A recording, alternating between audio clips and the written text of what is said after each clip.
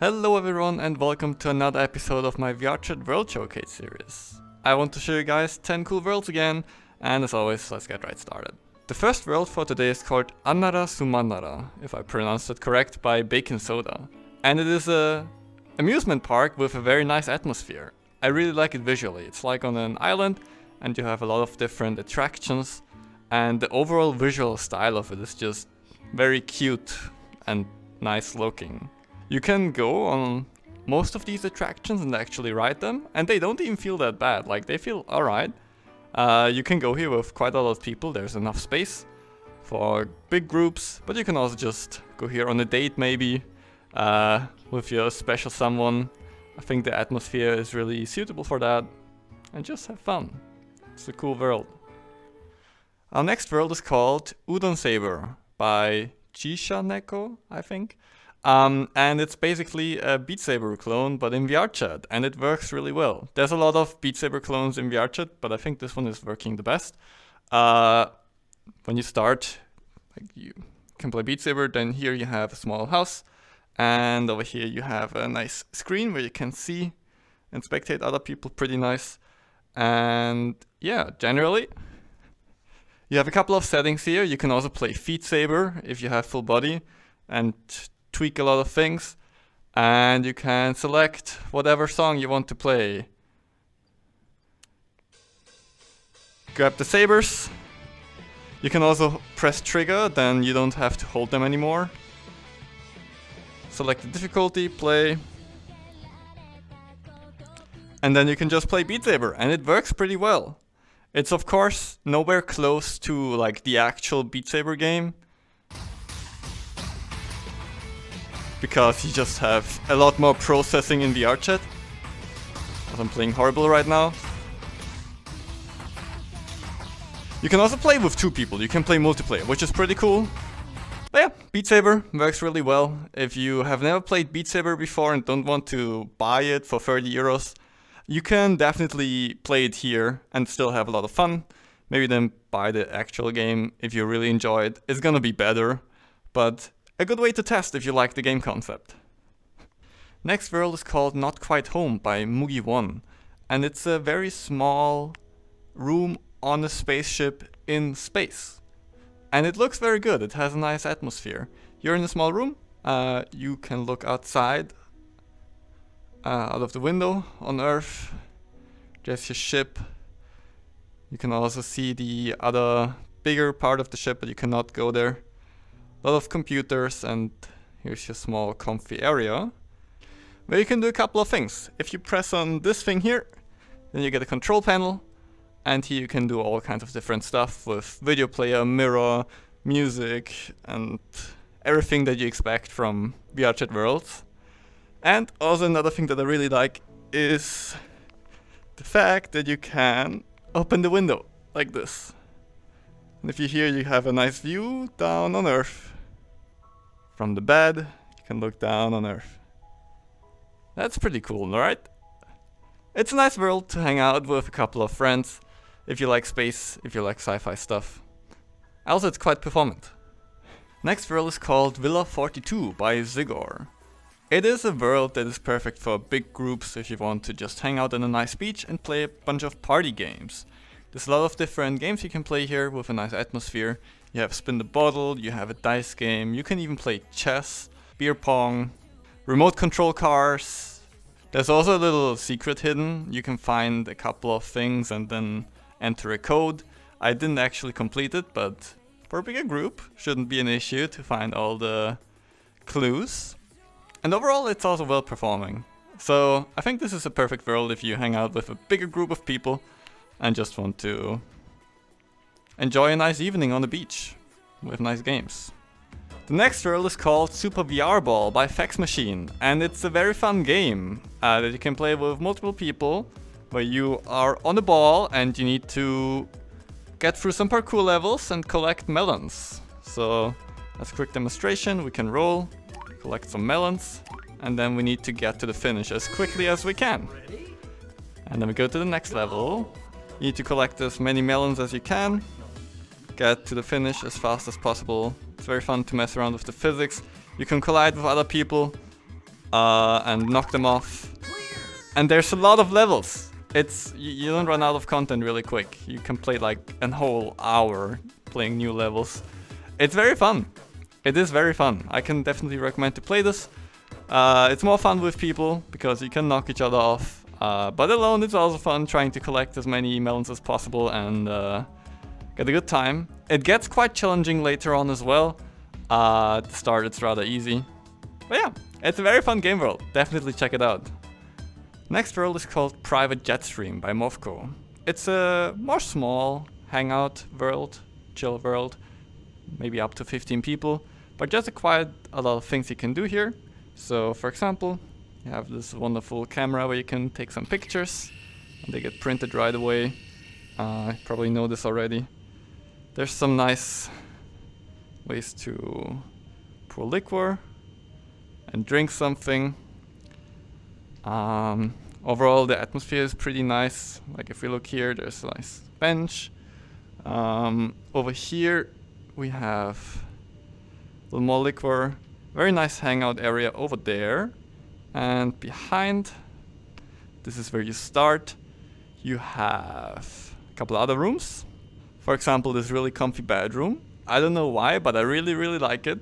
It's like, I like small cave kind of bedrooms, as you may have noticed already, and I like that it's like, you're in the plane, there's not much space. You're like, safe. there's a lot of mirror options there as well. Uh, right here. And then there's also a bathroom and a toilet, but there's too little space, I can't properly show that. Um, but yeah, it's a very nice place. Here a little more closer look of the comfy room. Of course you also have a lot of mirrors, a lot of options, and yeah, generally good looking world. The next world is called Garden of Kadesh by Vectriel, and it is a very pretty world to hang out. It's quite optimized and performant, it's also big, so you can hang out here with a big group of people. 40 people shouldn't be a big issue. Um, and yeah, it, it looks very good. You can already see it here. Uh, this is the garden. You get here a little bit later. You start in a different area that looks very similar to Astral Bound, so Nova Rest. It's the same crater. You are kind of inside of a desert that is blue. And if you walk a little bit, you come to this place, which looks very good. Uh, over there, it's very nice glass pane. There's a piano in front of it. Unfortunately, you cannot play it. Uh, it's only visual. And generally, the garden, uh, this is where you come from. From the other side. And yeah, this is the garden. It looks very, very pretty and it's quite big. There's a lot of mirrors and stuff that you can uh, used to hang out. Not really anything else to do. There's a video player if you want to watch videos, it's at the start. And yeah, really good world. Good to take pictures, good to hang out, and just chat with people. Next world is called Happy Hill Dog Park by Dr. Kim. Happy Hill Dog Park by Dr. Kim. Next world, Dr. Kim. Next world is Happy Hill Dog. I can't do it, man. Can you help me? Next world is called Happy Hill Dog Park by Dr. Kim. And in this world, you have a lot of cute doggos that you can pet and they sit down. And uh, all of them have like an object that you can pick up and you can throw it and then he will go and fetch it for you.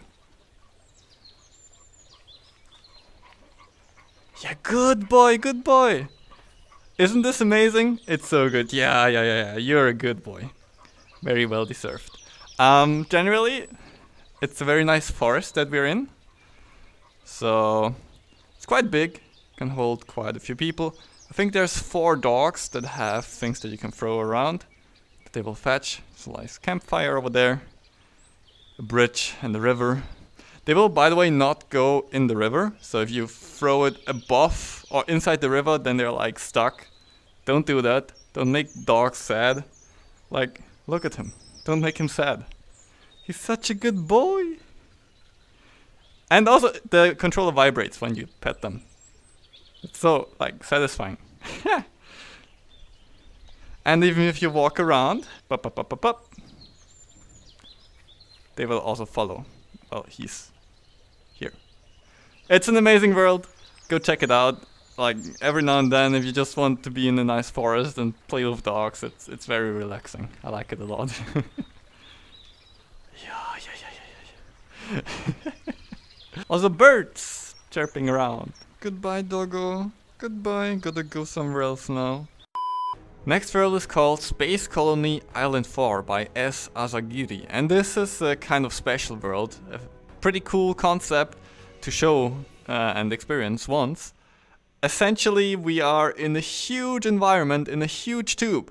Like if you look around, this is a tube and you can go to any place in here. This is a map. If we look uh, here, there's cars, you can use those to get around quicker. And this is some kind of weird shader magic witchcraft, which makes it look like it's uh, actually in a tube. Or a spacecraft or whatever. It's really cool. You can go everywhere in here. It takes quite a long time to really get anywhere because it's so huge, even with car. So I can't really properly show it and you don't really notice it too much that it's like curving because it's such a huge scale. Um, but if you want, you can just drive a whole circle. And even if you have multiple people, it works. Like if you're here and then your friend is like up there, you will see them up there. It's not like flat thing and it's just visually weird for you. It will actually look as if it is correct. And our last world for today is called Shoegaze Apartment by Wolfie. And it is a very pretty good looking apartment. So generally, uh, we have a bedroom over there. We have a nice balcony. I'll show that a little bit more in detail soon. Uh, you have a small area to watch videos, a kitchen, a really, really, really nice and comfy, um, how's it called? Fireplace.